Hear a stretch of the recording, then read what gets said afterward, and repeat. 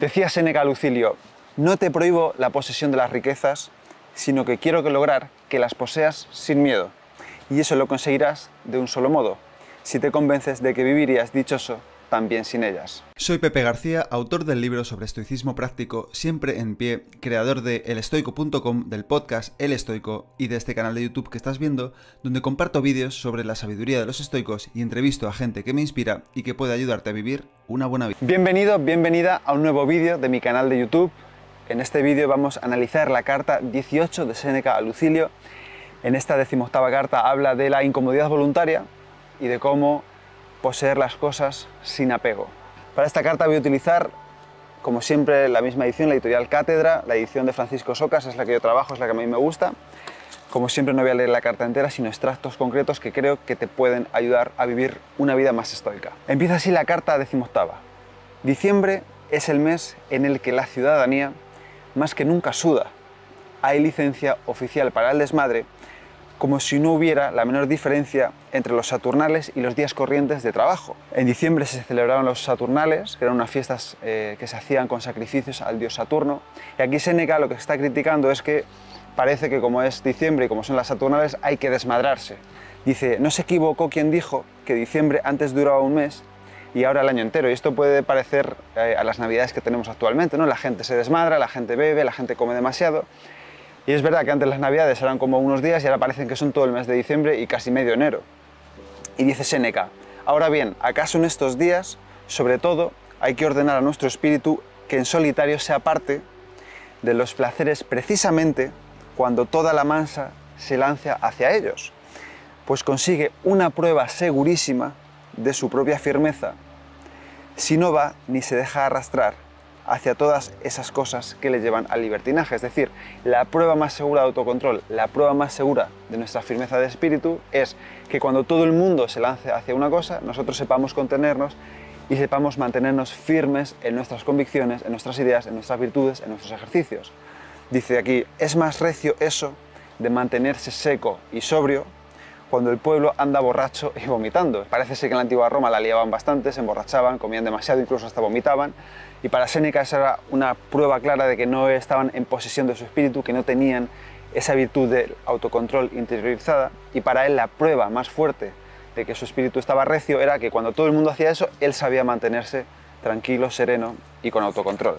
Y aquí, en 18.5, es el que más me gusta seguramente de las cartas de Seneca Lucilio porque dice, me agrada tanto someter a prueba la firmeza de tu espíritu, que a ti también te aconsejo que dejes pasar unos cuantos días contentándote con comer poco y muy barato, con vestir una ropa áspera y desaliñada, y te digas, ¿es esto lo que tanto temía? Y esto es un ejercicio clave en el estoicismo, clave en la incomodidad voluntaria y también en el premeditatio malorum, porque muchas veces tememos mucho que pase algo, tememos un resultado adverso, un resultado que nos destroce. Y como Seneca dice en otra carta, a veces sufrimos más en la imaginación que por la realidad. Entonces aquí, por ejemplo, Seneca, como ya hemos dicho en otras cartas y diremos en futuras cartas, al parecer tenía miedo de la pobreza, era una de las personas más ricas del mundo y es lógico, es normal que temiera quedarse como pobre. Entonces él le recomienda a Lucilio tratar de vivir como un pobre periódicamente o como una persona austera periódicamente para perderle ese miedo, para decir, ¿es esto lo que tanto temía? El ejercicio que recomienda hacer es, pasa unos días contentándote con comer poco y muy barato, vestir ropa áspera y desaliñada, porque así es como viviría la gente, vamos a decir, austera en la antigua Roma, Séneca y Lucilio serían personas a las que le iba bien económicamente y a lo mejor tenían miedo a perder ese estado, ese estatus, y para perderle ese miedo le recomendaba vivir así periódicamente. Y le dice luego más adelante, sobrelleva esto durante tres o cuatro días o más días de vez en cuando para que no sea un juego, sino una prueba. Es decir, si tú empiezas a ver que te estás acomodando en esta incomodidad voluntaria y empieza a ser un juego más que una prueba, pues endurécela para que te acostumbres a ello y para que tu carácter y tu espíritu sean más recios, más fuertes y sepan aguantar mejor las adversidades cuando vengan. Dice, que tu espíritu se prepare para cosas difíciles cuando anda despreocupado. El soldado hace marchas en medio de la paz, levanta la valla sin que haya enemigo y se fatiga con tareas inútiles para poder estar a la altura de las necesarias.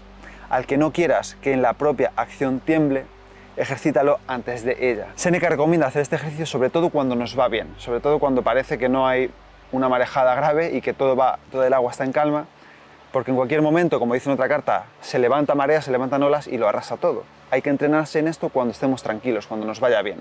Porque dice que tu espíritu se prepare para cosas difíciles cuando anda despreocupado.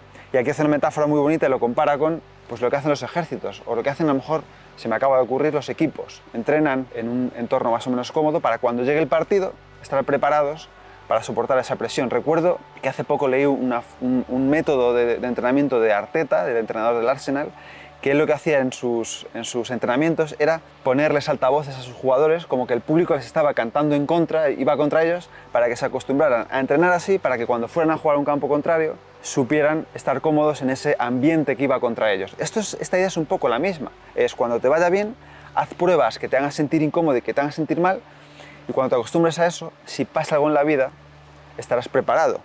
Al que no quieras que en la propia acción tiemble, ejercítalo antes de ella. Y Seneca al mismo tiempo advierte a Lucilio, no tienes por qué creerte que estás haciendo gran cosa haciendo esto, pues estarás haciendo lo que hacen muchos miles de esclavos y muchos miles de pobres. Es decir, no tienes que vanagloriarte y decir, yo practico las incomodidades voluntarias, ni presumir de ello. La única razón por la que debes engreírte es porque lo harás sin que te obliguen.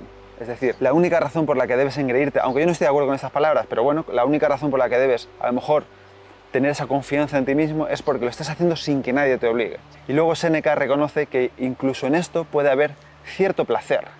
En la práctica de la virtud puede haber cierto placer, en la práctica de la incomodidad voluntaria, pero dice Seneca que no debe ser ese placer lo que nos guíe, sino estar actuando con propia virtud. Dice, hay también placer, pero no ese placer ligero y fugaz que hay que renovar de inmediato, sino otro estable y seguro. Es decir, este placer que te da hacer las incomodidades voluntarias o hacerlo con virtud, que aunque no debe ser lo que te guíe, es verdad que ocurre, no es como ese placer inestable, ligero y que hay que renovar de inmediato, como por ejemplo el de las redes sociales, ese placer que te da la dopamina barata o esa comida que enseguida te da cierto placer, pero luego te empiezas a sentir culpable. O cuando bebes demasiado alcohol, te sientes bien, te sientes cómodo, estás a gusto, pero luego te empieza a entrar la culpa y tienes que seguir bebiendo, ¿no? Para renovar.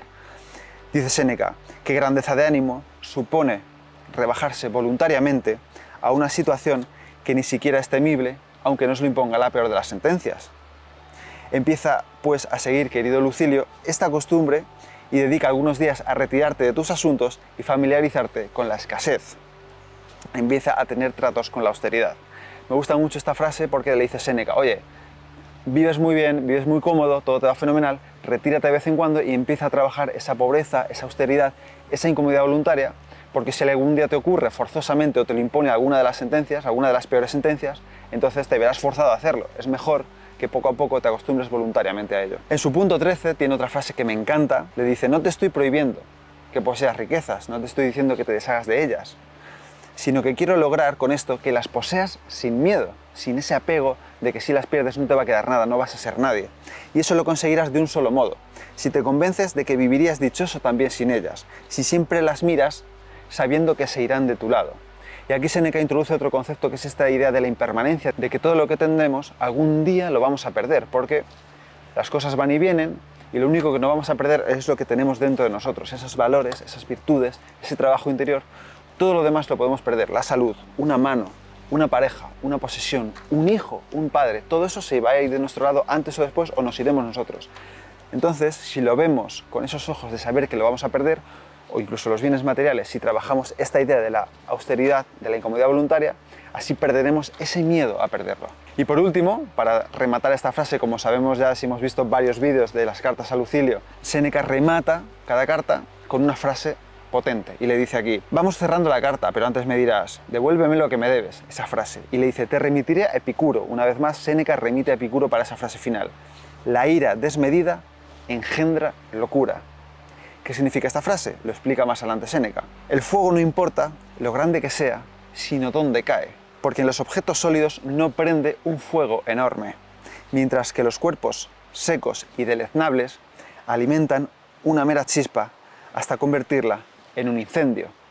Aquí explica esta frase, la ira desmedida engendra locura, es decir, si la ira cae en alguien que es fuerte, que es recio, que está preparado y que ha trabajado esa serenidad, esa gestión emocional, ese temple, esa templanza, ese autocontrol, sí, puede generar una chispa, pero la apagará pronto. Mientras que si cae en alguien que no haya trabajado esas virtudes, que nunca trabaje la serenidad, el autocontrol y que se deje llevar por la más mínima, ese fuego generará una chispa, ¡pum!, y arderá. y será mucho más grande que en alguien que esté trabajado.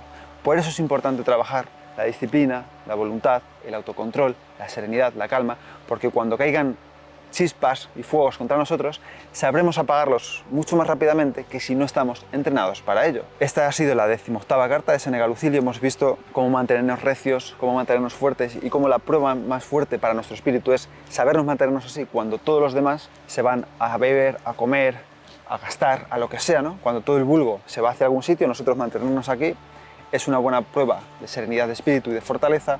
Hemos visto este ejercicio de incomodidad voluntaria, contentándote con comer poco muy barato, vestir ropas desaliñadas unos días al mes y luego esta idea de practicar la incomodidad en la tranquilidad, en la serenidad. El soldado hace marchas en medio de la paz.